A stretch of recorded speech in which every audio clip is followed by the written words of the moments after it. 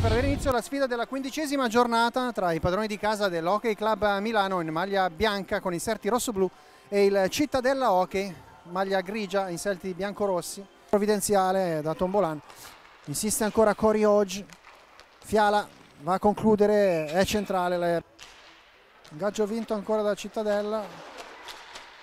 Rizzotto allunga il disco, poi una conclusione senza fortuna che finisce per favorire il break. Vendrame, Fiala e la rete del capocannoniere del campionato. Assist di Vendrame, gol di Fiala. E direi un classico di questa stagione. Al minuto 13 e 11 si sblocca il punteggio al Quanta Club. Dietro per Ronco.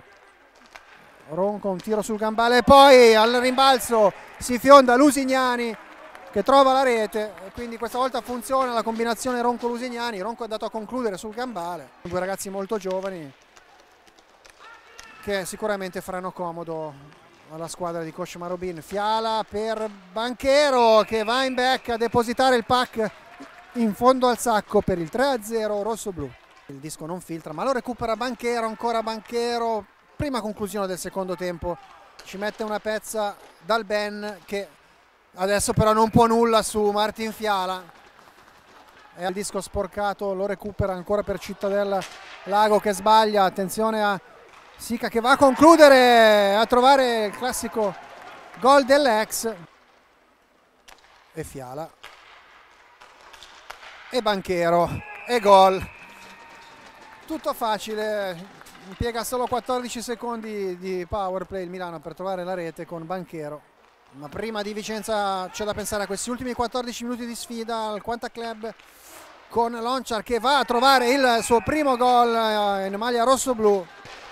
Buon lavoro difensivo di Wele Banchero per Fiala che carica lo splash shot e va a fulminare letteralmente dal Ben.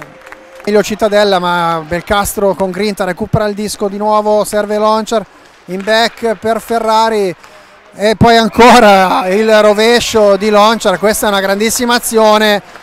Il 9-0 del Milano che adesso ha un power play, nella precedente occasione sono bastati 14 secondi al Milano per andare a rete, adesso Belcastro fa ancora meglio perché il gol lo trova dopo soli 4 secondi di superiorità numerica, Milano fa cifra tonda. E poi in back non riesce a depositare in rete, il disco è ancora lì. E poi arriva il gol di Zucca che bagna l'esordio con una rete. Speriamo la prima di tante per lui la soddisfazione della rete in Serie A. Tappin vincente per Zucca. Applausi scroscianti del Quanta Club.